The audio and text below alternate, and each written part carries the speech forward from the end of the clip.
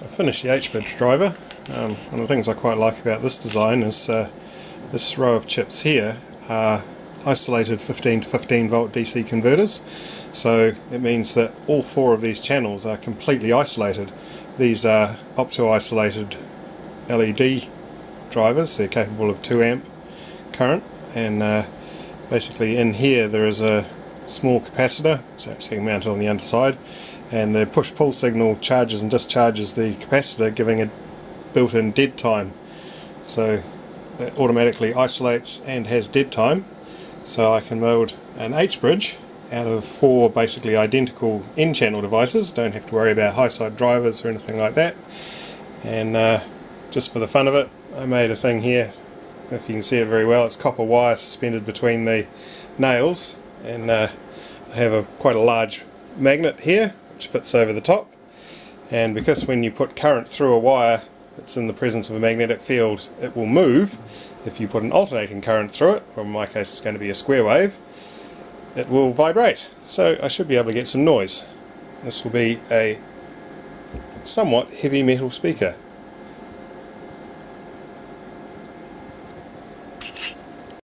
This is the output from the isolated gate drivers. Uh, I used a 2.2 picofarad capacitors, gave me about 500 nanoseconds of dead time in between the, the gate drive signals there.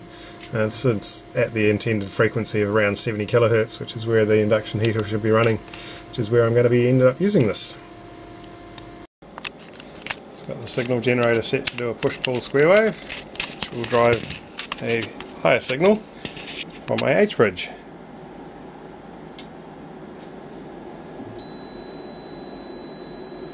So that's about 4 kilohertz.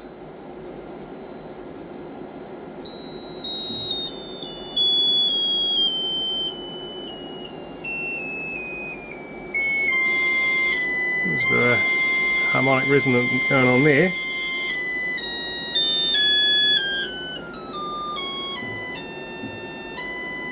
That's 1 kilohertz. Ooh. Getting a good vibrate on there. Hear the fan on my power supply coming on too, there's not a lot of impedance. 400 hertz.